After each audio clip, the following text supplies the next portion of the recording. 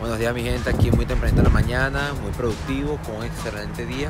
Vamos a grabar para ir a hacer ejercicio y mostrar que hay que ser productivo. No podemos ser flojos, estar acostado en una cama todo el tiempo, porque eso es malo, eso es malo.